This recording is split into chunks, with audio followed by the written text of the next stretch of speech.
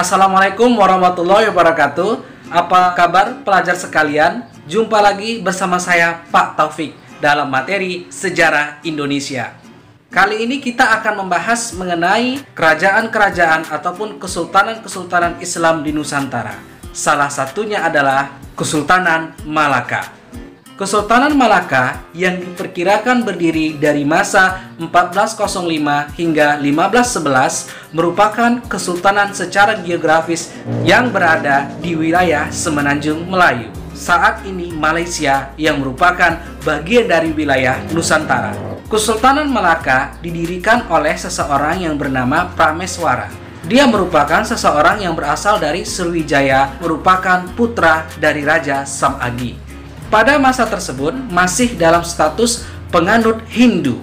Dia melarikan diri ke Malaka karena Sriwijaya mendapatkan serangan dari kerajaan Majapahit. Para Meswara dan para pengikutnya merupakan sekelompok migran yang memiliki tingkat budaya yang jauh lebih tinggi. Itulah sebabnya mereka dapat dengan mudah menguasai wilayah Malaka, mempengaruhi penduduk asli, bersama dengan penduduk setempat merubah Malaka menjadi sebuah bandar lalu lintas perdagangan. Dalam masa kejayaannya, Malaka sering dikunjungi oleh para pedagang muslim. Secara bertahap, penyebaran agama Islam menyebar di wilayah Malaka.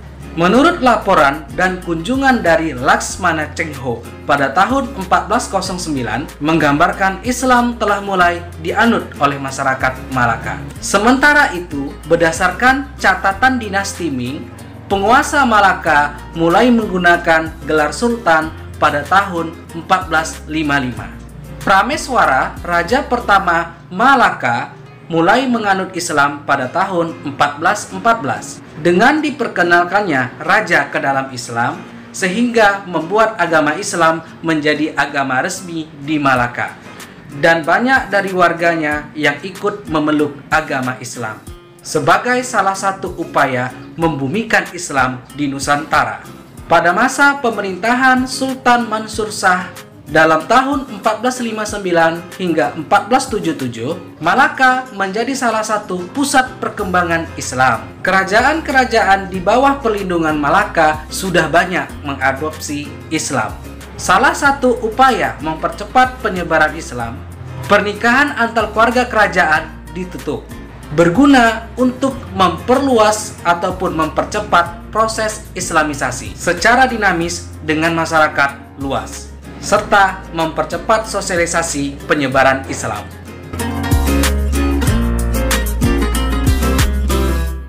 Dalam aspek kehidupan sosial budaya, perkembangan sastra Melayu pada kerajaan ini berkembang pesat seiring munculnya karya-karya sastra yang menggambarkan tokoh-tokoh heroik dari kesultanan ini. Misalnya seperti Hikayat Hang Tuah, Hikayat Hang Jebak, dan Hikayat Hang Lekir. Kitab Sulalatus Salatin yang merupakan kitab yang bercerita tentang raja-raja Melayu juga menggambarkan kedekatan dengan Pasai. Hubungan kekerabatan ini dipererat dengan adanya pernikahan putri Sultan Pasai dengan Raja Malaka. Sehingga pada masa berikutnya Sultan Malaka juga ikut membantu memadamkan pemberontakan yang ada di Pasai. Mahuan, juru tulis Chengho, menyebutkan adanya kemiripan adat istiadat Malaka dengan Pasai, serta kedua kawasan tersebut sama-sama menjadi komunitas Muslim yang berada di wilayah Selat Malaka. Dalam aspek ekonomi, Kesultanan Malaka juga memungut barang yang masuk dan keluar dari kesultanan ataupun wilayah kerajaan. Hal ini tentu saja akan memberikan tambah bagi devisa ataupun pajak penghasilan dari Kesultanan Malaka.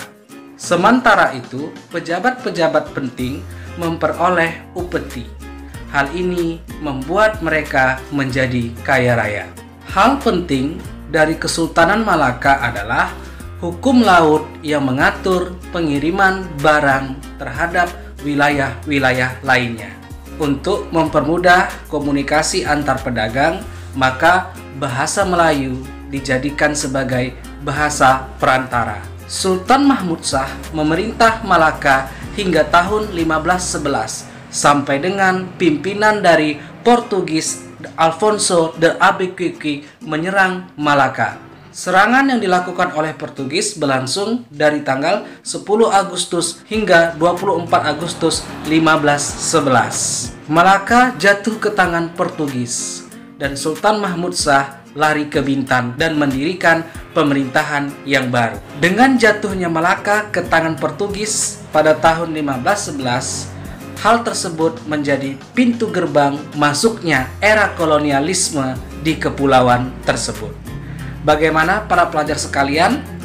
Jangan lupa beri kesimpulan umummu pada komentar di bawah video.